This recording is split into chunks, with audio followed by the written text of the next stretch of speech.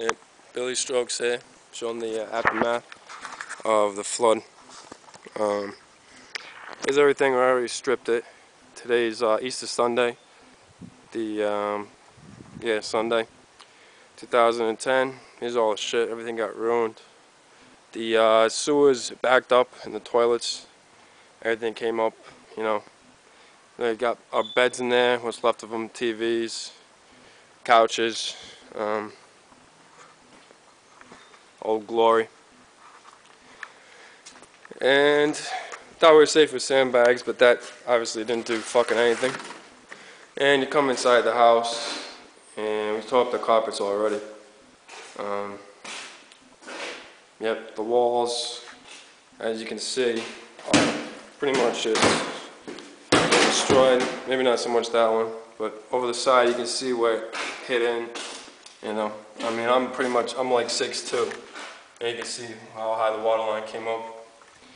Um, yeah, just all the sheetrock is just blowing out. Yeah.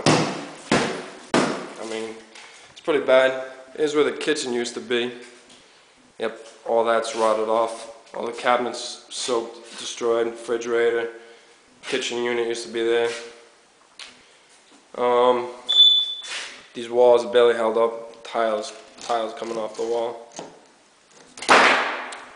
Here's the bathroom. Cleaned it a little bit. You can see the water damage on the walls. It's rippling over the back. Sewers backed up first. That's where all the shit and piss started coming out. Took off all the doors. Just got done remodeling, painting the bathroom. That's fucked. Here's my uh, nice room. Here's some water still left over. Walk in. Oh, there's my buddy used to sleep. Come in, windows broken from the debris hitting it. Here's all the trash. Here's all the walls. You can see how high the water came up. Some of my stuff saved some of my shot glasses. And you can see, you can see the water line. Again, another like six feet water in the room. Uh, my books, are still ruined. You can see they're stuck together. There's, um, you know, nice, probably $60 book, you know, $100 book right there for architectural class. Fucking ruined. And here's my buddy's uh, bedroom. Same thing, water damage.